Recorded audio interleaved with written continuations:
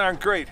Hey guys, you don't need to spend a lot of money to get a lot of car. And in this new video series, we're gonna prove that because we bought four 1990s convertibles all for under $10,000. We're calling this from stud to dud. And I have brought the best one because we're not only comparing four inexpensive and badass convertibles, but we're comparing four different countries. We're comparing Japan to Germany to America to Britain. And I have brought the Japanese convertible. It's a 1994 Nissan 300ZX convertible. And this by far is the most rare because they only built 1,500 of them. I wonder what Andre brought.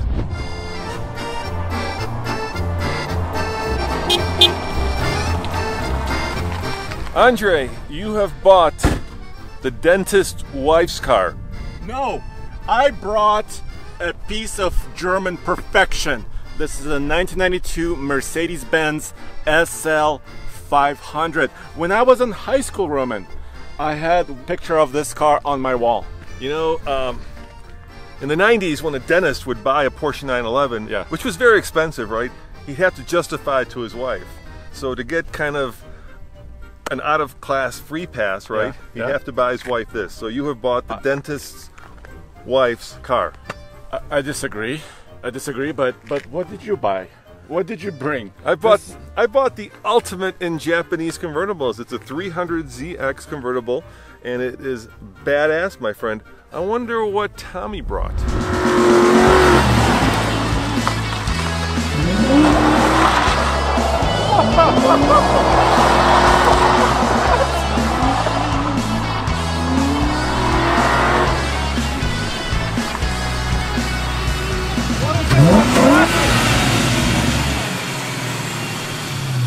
Tommy, you have managed to bring, dare I say it, the mullet of Mustangs. Ugly in the front, party in the back. Oh yes.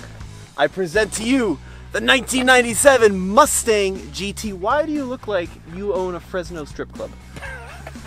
No, because my car came from Palm Springs and also Los Angeles. You look like the owner of casino from the 1970s It has gone real bad and you had to sell all your assets because your wife left you and then the kids took the house for some reason What? and then you bought that. Why does your car have a bra?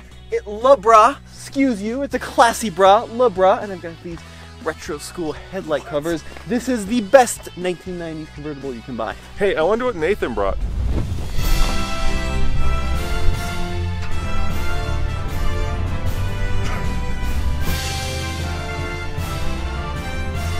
What is it? Is it a Oh, it's a Jaguar.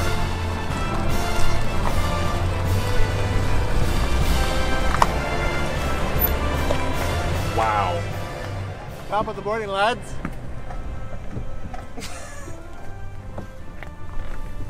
I feel good. And I know I look good. What do you think? Nathan, you have brought the Geritol of Jaguars. Oh, so wrong, especially from somebody who used to own an X. Um, so here's the thing. This is okay. It's a 2002, but it's basically the same exact thing as a 97, 98. Same car. It's just we couldn't find another one. And on top of that, this has unique touch-up appliances that are more tasteful than the ones that in front of Tommy's car. I I swear I've seen this car before. Yeah, you know, Tommy, uh, when we were going to work one day, there was um, a Jaguar that had somehow managed to drive itself up onto a rock. What? That is a bad day, huh? Someone, someone had a. Thank you.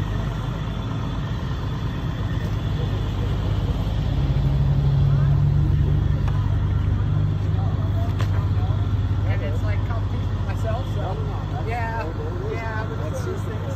I got a kid actually just started. He's really into the Audis. He's got a couple B5 S4s and uh, all road and different stuff like that that he, he does. So you get to fix this, Toby? I'm thinking it's totaled, unfortunately. Yeah, I think you're But right. cross member looks like it's bent, and then everything else is probably. It's going to be expensive. Yeah. Probably yeah, more than the value of the poor old Jag. Yeah. Yeah. At least nobody was hurt.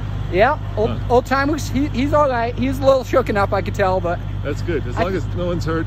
Just a bad day. As fast as it happened, I think Yeah. he realized what happened. He says, "Oh, I'm, I'm not going nowhere." Sun will do that. Oh yeah, it's bright one. Ironically, a boulder in Boulder got this car. It leapt out and jumped underneath the car. It was crazy. Never seen anything like it. All right, well, you know, in this series, we're going to find out not only what country built the best convertible in the 90s, Nathan, but 90s, come on. which of these is actually the best vehicle and which of us bought or brought the best car. So to do that, I think we need to do one thing, boys. What's that? Let's go towing trailers. No, no, let's go Oh. drag racing. But before we do that, we have to assign points based on how much each of us spent on their cars. Four points is maximum, one point is the least. And let's start with who paid the least gets the most points. So, Nathan, how much did you spend on this uh, Ford? I'm sorry, Jaguar. Now, come on. I got the Boulder discount, 6500 bucks. That's a lot of car for 6500 It is indeed. All right, Tommy, how much for uh, the mullet Mustang? Well, it was 8,500. That's a lot, but how many miles? 77,000. Pretty low mileage. That's pretty low. All right.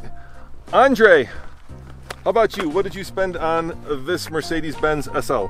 I have spent $9,000 and it's worth every penny. That's quite a bit of uh, money you put down on this.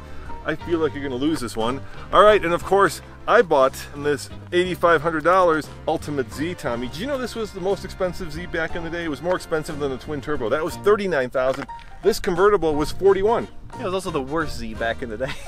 the reason they didn't sell many of them. All right, so we kind of tied. Yeah, so I think we both get, um, what, four points? No, no, no. Nathan gets four points. I get three points. You get two points because you bought a car with a check engine light It's on. It's an E EVAP code. It's nothing. It's still a check engine light.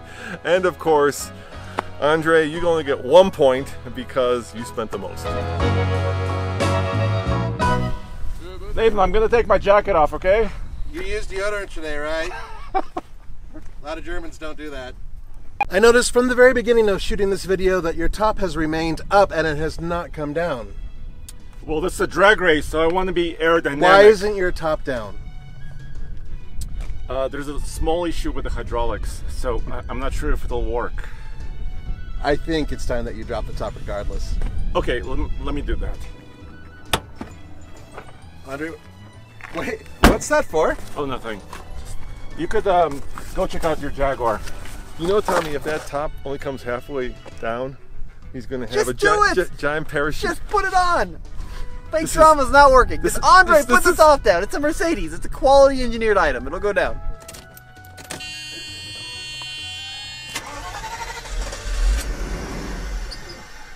Oh. Oh no. No, no, no, no, no, no, no. Hold on this. Hold on a second. That is German engineering at its best. Hold on. Hold on. Hold-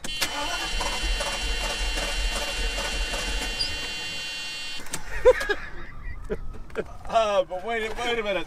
Wait, wait. We got all day, Andre.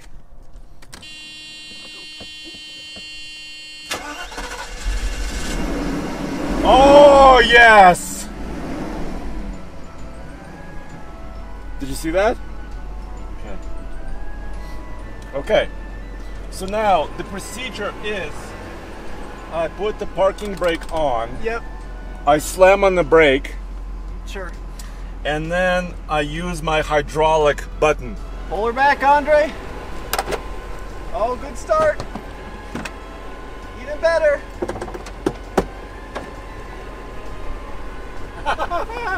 Yes! Oh, oh, gorgeous. Open sky. I gotta say, Andre, uh, you know, I'm impressed. And you even have a wind deflector. So we're gonna do a bracket style drag race here, and I propose we do Axis versus Axis, and then Allies versus Allies. I would do Ford versus Ford. It's not a Ford, it's a Jaguar, but we'll do Ford versus Jaguar, and then we'll do Mercedes versus Nissan, and then the winners will take each other on, and then the winner of the final bracket. has this very special and unique car that we've brought to show you the difference between 30 year old cars and modern cars. So there's a special guest appearance coming at the end of this video.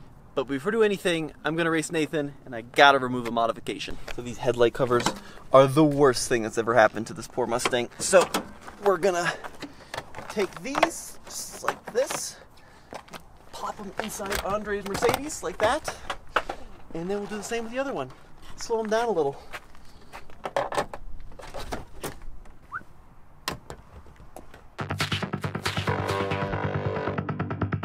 So Nathan, why are you gonna win this race in the Jaguar?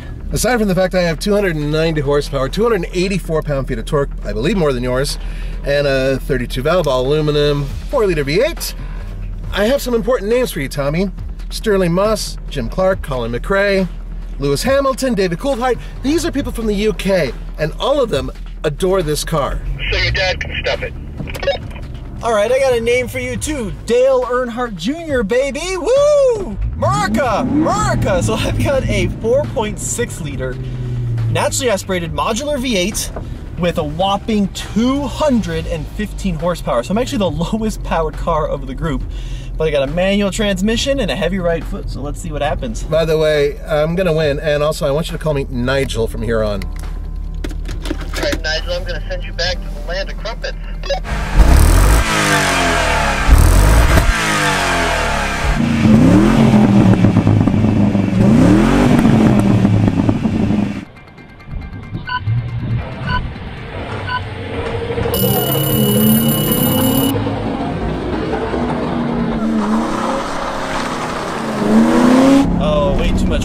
Come on, Micah, you're better than that.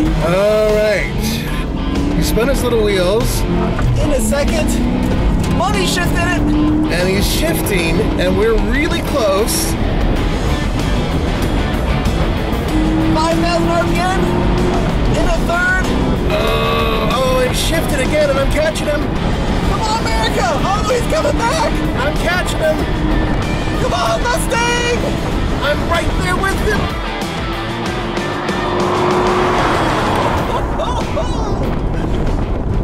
Was a close race. That was really close. Quarter mile, 17.49 seconds at 85 miles per hour, and I was six inches away from you.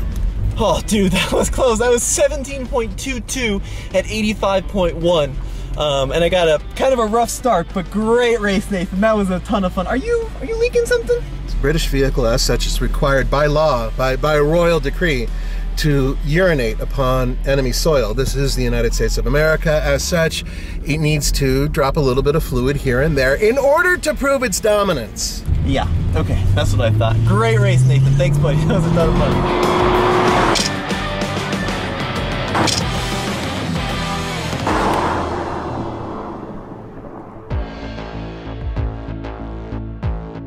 Here's the deal about Mercedes. When Mercedes like this SL comes out, the industry pays attention and then they follow. This car had one of the first automatically deployable rollover hoop bars for a convertible, period. Five liters of V8 goodness, 315 horsepower, a ton of torque, four speed automatic, and a power top, hydraulic top, remote key entry. Uh, uh, this is a technological tour de force. This Z, like I said, is the most hated of the Zs, but also uh, the most unique. Only 1,500 were made. It doesn't have the twin turbo, so it puts out just over 200 horsepower, and it has a four-speed automatic transmission. So I have no doubt that if I had the twin turbo, it would be the fastest car here, but I don't. So I don't know what's going to happen with Andre and myself. It'll be close for sure. So Roman, um, do you have like 200 barely horsepower there? I do, Andre, but, but they're 200 angry horsepower, angry JDM horsepower. Yeah, but they have like 315. Yeah, and you weigh like 315,000 pounds. So who's gonna win? I don't know, let's find out. Let's do this. Okay.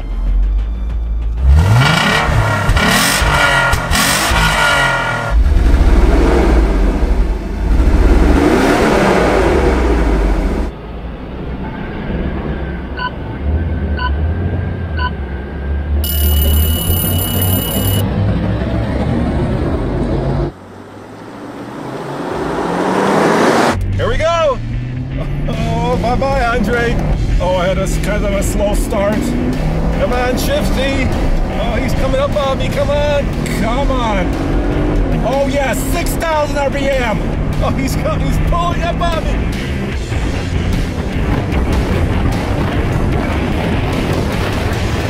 And the V8 just goes forward. Come on, Z.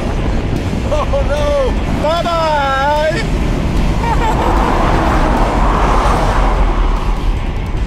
know, it has a kind of leisurely start, and then the fury begins. The sheer speed of that run killed the camera. All right, congratulations, Andre. What was your time? 17.34 at 88.1 miles per hour. So I was 18.44 at 79 miles an hour. I got you on the start, but then the horsepower advantage. Gotcha. Yeah, and this Mercedes, um, it's kind of leisurely in its behavior, taking off. But then when that V8 hits, it really hits. Dude, that Dennis wife uh, was really one badass chick when she was up to speed. Heck yeah! All right, so that means you got to take on Tommy. Are you ready? Yes, I was born for this.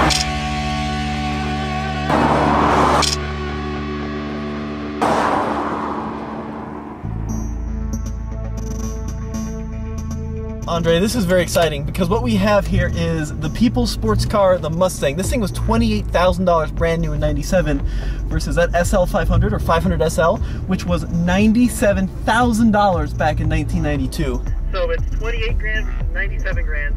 They're, they're about 9 grand today. Yeah, but Tommy, do you have a phone? I don't have a phone, but I do have a lot of fake wood trim. Tommy! See, hello? Hello, Tommy, can you hear me?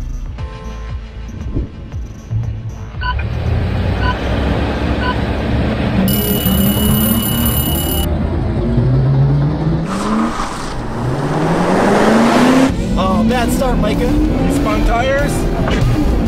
Uh, money shifted in a second. He's coming up on me. Oh, he's got me in a third. Uh, bye-bye.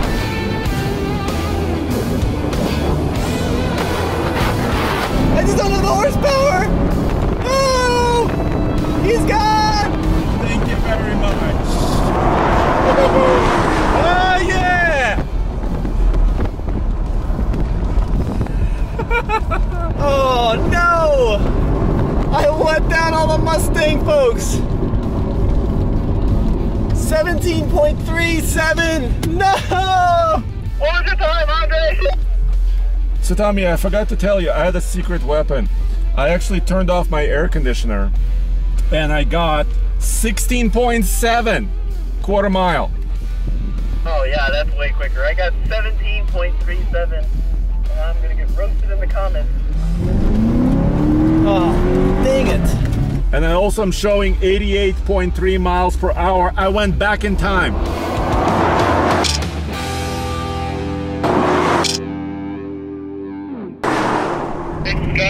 Guys, uh, Tommy, since you lost, I've got a special car for you to drive next uh, to take on Andre. Uh, this is a modern car that is, uh, well, even new, cheaper than Andre's was when it was new. All right, let's see what you got for me. Show starts in two minutes. Congratulations on your choice of the Jaguar XK series, the world's most exhilarating and refined sports car. We wish you many miles of enjoyable motoring. I interrupt this video for a quick one minute cool or crap review of each other's cars. And I'm going to do Nathan's because back in 1999, as you recall, Ford purchased Jaguar, which at the time was still building cars. And I'm not making this up on a dirt floor factory. Yep, this car was built on a dirt floor and it looks like it. I mean, I mean look at this. This car has more wooden. Come on with me. Come on than Woody Harrelson. I mean, if you want the Geritol Jaguar, if you want a car that says I've given up on life, if you want a car that says I am bald, sorry Nathan, and impotent, sorry again Nathan, this is the one because it screams not just midlife crisis, it screams I have completely given up on life because just look at it, look at the wood, look at the automatic, look at the useless back seat, and look at the sad, sad growler Jaguar. In fact, if you wanted a cool car of this vintage, you would have been better off to buy the Aston Martin, which was basically the same car, but not with all that Jaguar baggage. I will cut to the chase. I will rock the boat and everything else. I will get in your face. I will run, for this race is mine. Ford Mustang, It's your race. What do you think of when you think Mustang?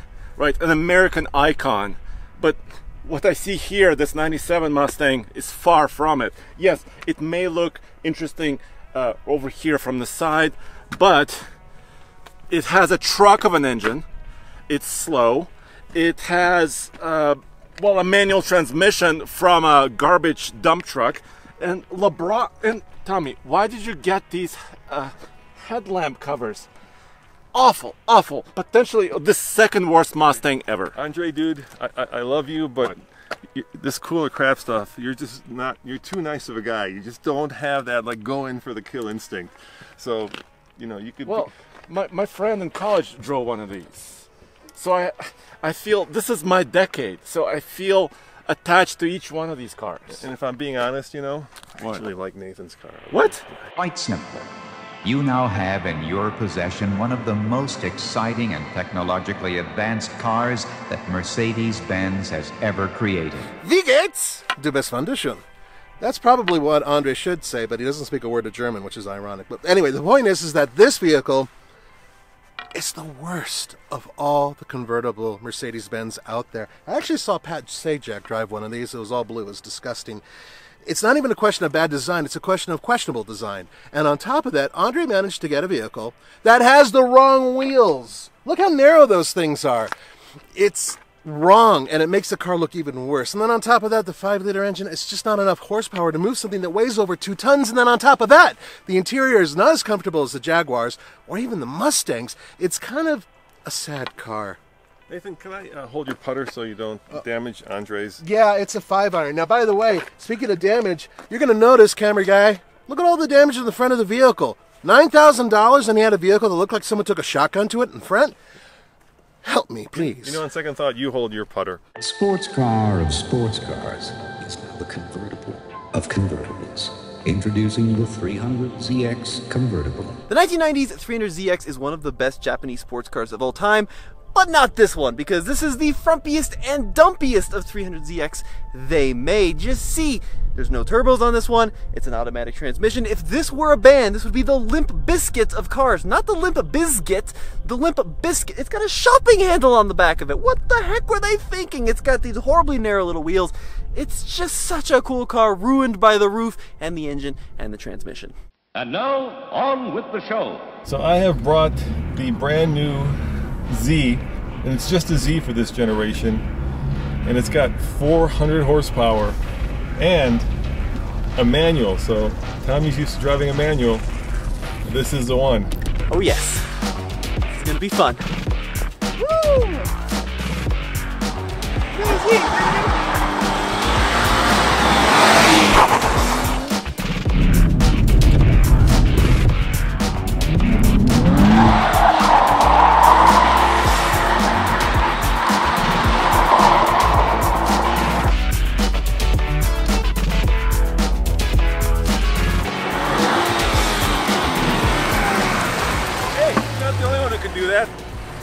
This is a Z, it's not that lip noodle thing over there, so I'm gonna hop in this and take on Andre in the SL.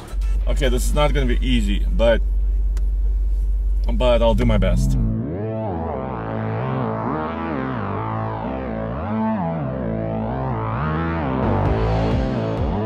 So Tommy, uh, my Mercedes is over what?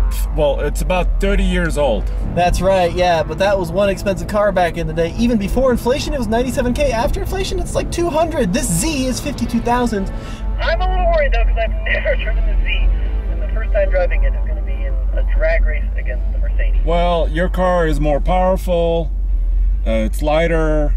I mean, I can go on and on and on. Yeah, so I've got a twin turbo V6 with 400 horsepower. And even with my crappy ass behind the wheel, I think I'm gonna be able to take you. Let's see what happens.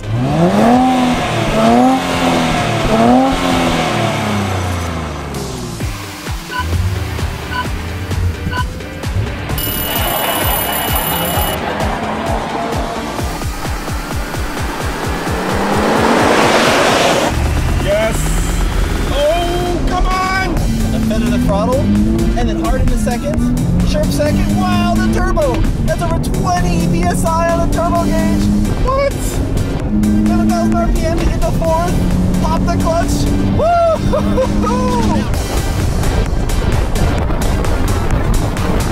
That's not good. That's not good. And that was the corner in 14.93. Of course, at over a mile above sea level. 104 miles an hour in the corner. Not bad for my first try, I think. So I, I did um, almost my best time at 16.9. What was yours time? 14.9 at over 100 miles an hour. 104. This thing's a riot, so You know, that SL was quick back in the day, but it's no 400 horsepower twin turbo Z. Well, there you have it, folks.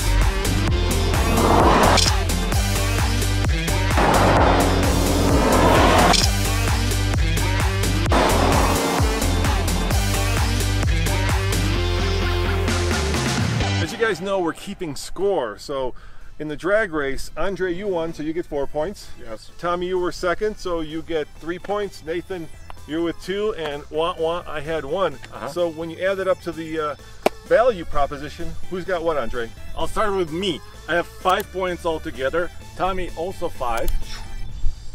You're at four. You're the winner, six points. Nathan, you dropped your putter. No, no, call me Nigel. Nigel, you dropped your putter. And behalf of all the people in England, UK, I say thank you. And I told you I was going to win. This is a value proposition. You guys have no idea what you're going up against. This is the strongest empire ever. Well, in the next video, we're going to bring all four cars to the mechanic and see which one is actually in the best shape. We'll score that, and then we'll be sure to update the results. And I just want to say sorry to our friends here uh, at the Drone Club. I forgot, Tommy, we weren't supposed to do burnout, so I feel really bad about that. I really forgot, guys. Won't happen again. Sorry. Yep, so CSU Drone Center, folks. We'll, uh, we'll buy you cookies. But as always, this has been Tommy and... Nigel. Send the bill to Nigel. and Roman saying thanks for watching. Remember, check out alltfl.com and come back next week when we take him to our man Toby to see actually what we bought. Ciao.